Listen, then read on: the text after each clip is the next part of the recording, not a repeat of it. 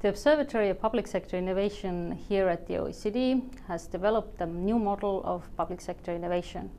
Uh, this model involves four different types of innovation, from mission-oriented innovation to adaptive innovation to anticipatory innovation and enhancement-oriented innovation.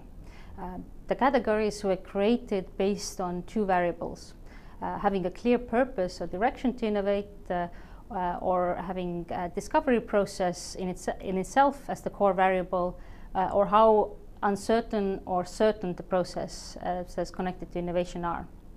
We argue that different types of innovation need different activities and support systems in government. So government actually need four different types of strategies to boost and promote innovation uh, within their countries.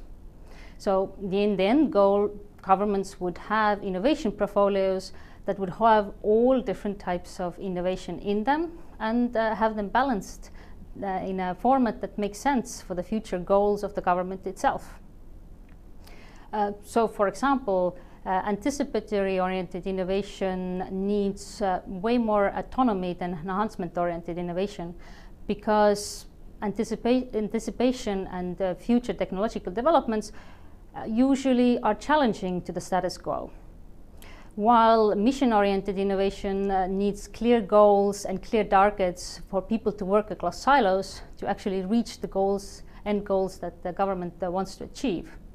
And adaptive innovation, people need a license to innovate uh, to begin with, to explore and to discover new ideas and topics that might be useful in the future for the government itself or transform the system in its entirety how to manage these innovation portfolios is something that we at the Observatory of Public Sector Innovation will be engaging with in the future. We would like to hear as much as possible your feedback on these different types of innovation and also on the portfolio management side. What can governments actually do to create and manage and steward uh, these uh, strategies uh, to come up with the best solutions uh, for their citizens? Thank you all for following us on social media.